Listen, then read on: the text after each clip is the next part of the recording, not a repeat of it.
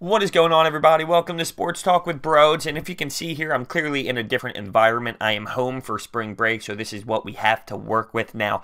We are discussing a Flyers Bruins game, and I just can't believe it.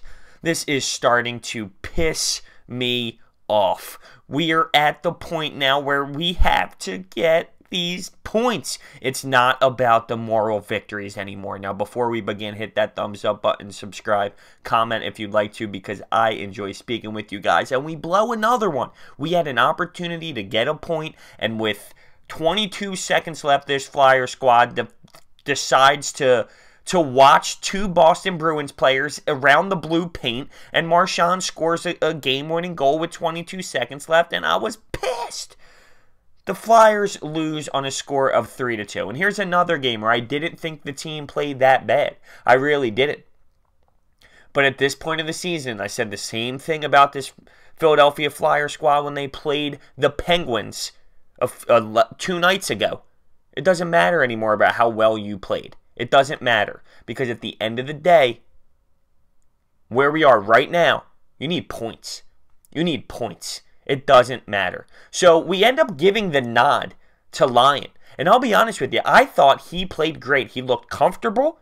He looked positioned.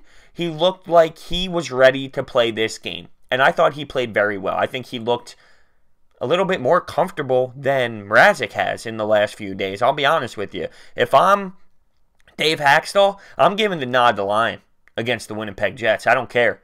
He looked way more comfortable than Mrazek has. Matt Read gets the nod tonight. He's got four games this in this season. Matt Read gets the nod? Let's dissect the game. Four minutes in, Wayne Simmonds, how do you do? Gets a nice little chunk of his lip chopped off there. And he gets a four minute penalty for the Fly Guys. He didn't get the penalty. Someone high sticked him.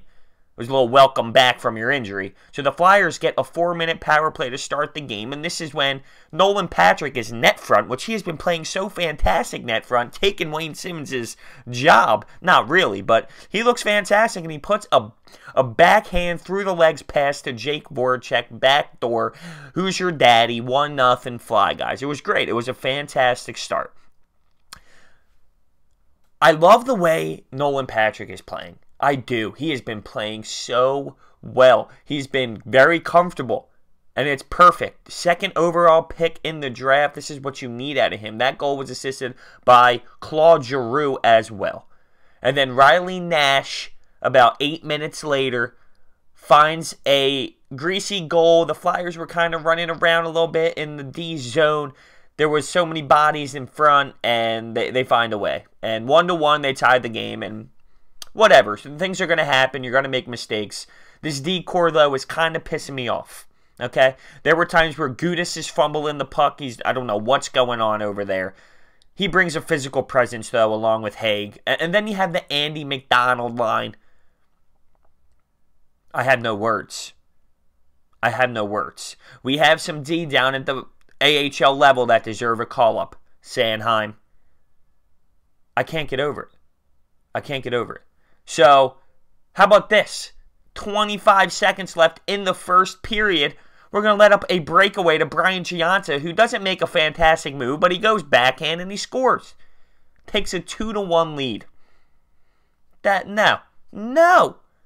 No. That can't happen. Are you kidding me?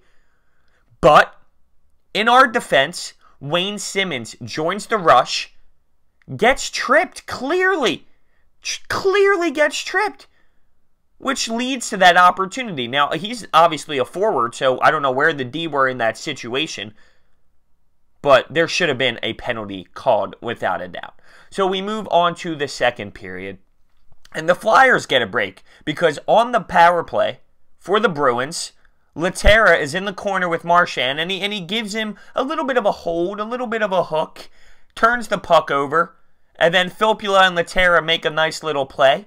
Lehtera scores to make it his third of the year, shorthanded, assisted by Gudas and Filppula. So we tie the game up. So, you know what? They score on a breakaway from a call that wasn't called. And then the Flyers get an opportunity to tie the game and, and, and buried it. So there you go. Two to two. going into the third period. I thought opportunities were there for the Flyers in the third. Same with the Bruins. Listen, this is my thing. People are saying, oh, we're going through a stretch of playing playoff teams. It's okay. Who are you going to play in the playoffs? These teams.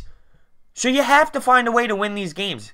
And we're not playing bad hockey, which makes me a little bit more optimistic. I'm not dying yet because we're in these games. We need to clean it up though. There's there's times we need to score when we have all these chances. But you're right, these are the teams we're going to have to play in the playoffs, so there's no excuse. We need to beat these teams.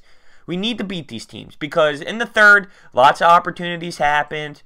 I thought the third period we kind of got worked a little bit, especially the first 10, but we made pushes. We had chances and we couldn't bury. And then with 22 seconds left in the game, you had Sean Couturier, who was your best defensive forward, and you have Shane Gostisbehere in the blue paint with his back turned to Marchand, who ends up tapping in the goal late. And you know, there, there's no there's no doubt that that could have been stopped from those two players. I mean, why is Sean Couturier not picking up sticks? Shane Gostisbehere, why are you not picking up sticks? I just wa- oh, just read an article on Shane Gostisbehere how even though he's having one of the best offensive years of his career, his defense is also been picked up. It's just minor things. It's minor things, and we need to clean them up. We have a huge game against Winnipeg. I am not saying it's over yet. But I'm a little nervous. I'll just say that. I, I still believe, but this is not the time to lose five. And one point last night could have changed my whole entire outlook. 22 seconds. Seriously. Now, the Devils lose to the Jets, which is huge. They keep losing as well. Looking at the standings, Penguins 82, Caps 81, Fly Guys 79.